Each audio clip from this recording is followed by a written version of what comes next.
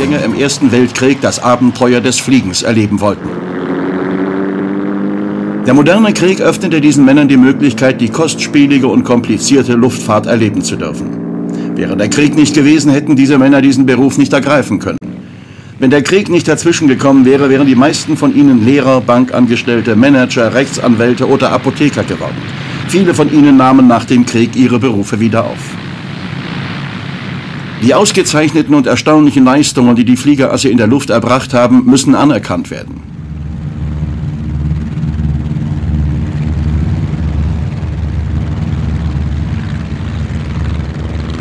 Da nun die Zeit des Krieges vorbei ist und wir uns in einer Ära von Frieden und politischer Offenheit befinden, sollte man einsehen, dass der deutsche Pilot ein mutiger und fairer Gegner war, der von allen Nationen und Jagdfliegergenerationen bewundert werden sollte. Man sollte versuchen, die zerstörerischen Bombardierungen des Krieges und die absichtlichen Fehlinformationen, die auf allen Seiten Hass erregten, zu vergessen.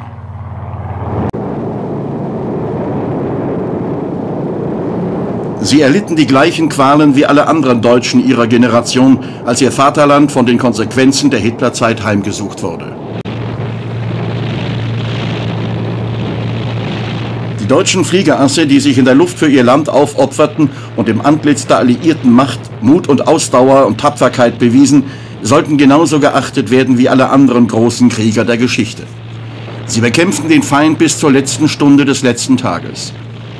Ihr historisches Pech war jedoch, dass sie von ihrem eigenen Oberbefehlshaber unaufhörlich für die Niederlage im Luftkrieg verantwortlich gemacht wurden. Dies war ein Krieg, den sie nicht geplant hatten, in dem sie jedoch unbarmherzig an die menschliche Belastungsgrenze getrieben wurden. Als der Krieg ausbrach, sprach alles für sie. Erfahrung, überlegene Taktiken, unübertroffene Kriegführung, gut getestete Waffen und einen großen Vorsprung in der Entwicklung von Kampfflugzeugen.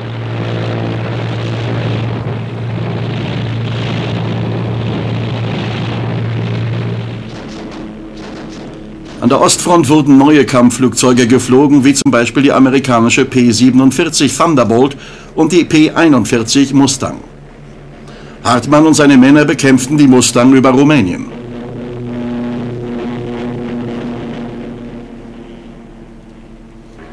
Diese Ruhmeskrone wurde von allen deutschen Jagdfliegern gleichermaßen geteilt.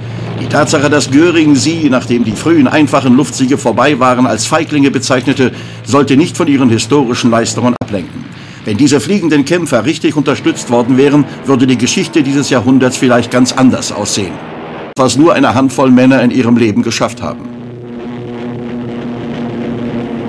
Außerdem wird man sich an Galland aufgrund seiner Bodenkämpfe genauso lange erinnern wie an seine Leistungen als Jagdflieger.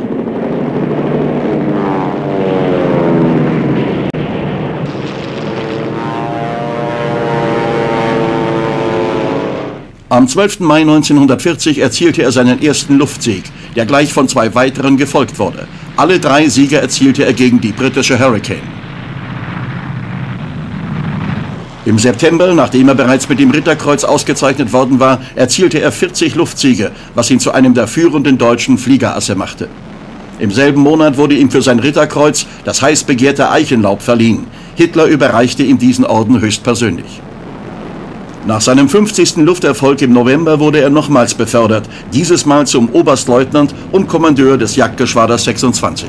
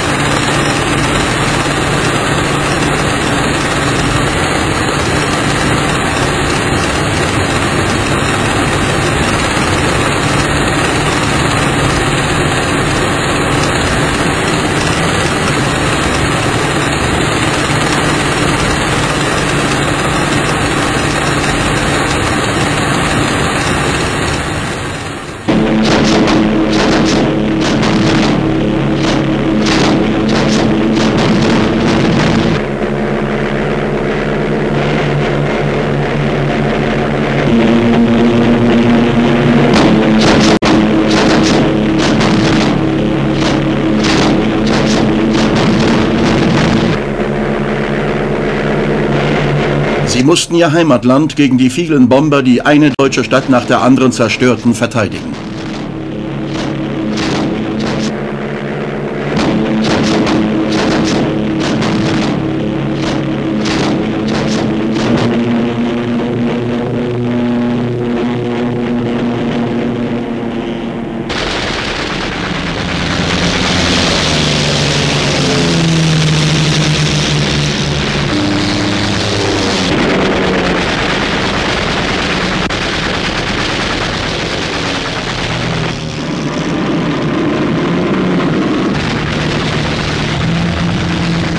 Ihnen war bewusst, viele von Ihnen wussten das schon von Anfang an. Als das Kriegsschauspiel langsam dem Ende zuging und der Vorhang sich zum letzten Mal hob, hatten einige der Hauptdarsteller der Luftwaffe die Bühne bereits verlassen. Adolf Galland lag im Krankenhaus. Seine beiden Brüder, die ebenfalls Jagdflieger waren, waren tot. Balkorn war nach einem Absturz mit der Me 262 ebenfalls schwer verwundet. Steinhoff blickte dem Tod ins Auge sein Gesicht war von entsetzlichen Brandwunden für immer entstellt. Hartmann war in Kriegsgefangenschaft und Rudel hatte ein Bein verloren.